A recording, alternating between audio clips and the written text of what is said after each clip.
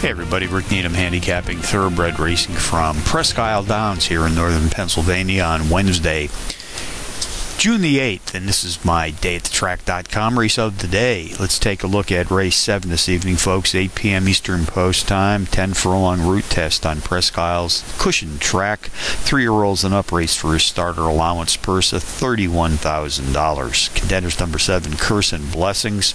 Number 2, Hanging by a Thread. Number 8, J.T. Kingfisher. And number 9, Quick to Charm. Number seven, Curse and Blessings, a four to one shot is the pace profile leader in this allowance field, racing at or about today's distance of 10 furlongs on the cushion dirt. Comes off back-to-back power run wins in his last two starts. Jockey Corey Orm was in his irons for those last two wins, which produced a positive 235% return on investment in the process. Orm is back today for his third ride, gunning for a hat trick win. Number two, hanging by a thread, has turned in power run performances in five straight, hitting the board in three, including a power run win in his fifth race back.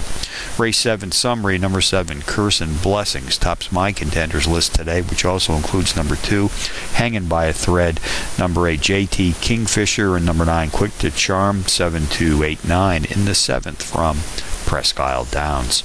Bonus long shots, Woodbine, race 4, number 3, Desire and Fire. 10 to 1 bomb takes a class drop of 6 units. The overall speed leader in this allowance field, racing at or about tonight's distance of 8.5 furlongs on the dirt. Evangeline Downs in Louisiana, race 4, number 4, Mass Harbor. 9 to 2 in the morning line, drops in class by 9 units. It's the speed leader in this claiming field, sprinting at tonight's distance of 5 furlongs on the dirt. So from Presque Isle Downs on a Wednesday evening. Rick Needham for DayAtTheTrack.com, reminding you as always to please bet with your head, not over it.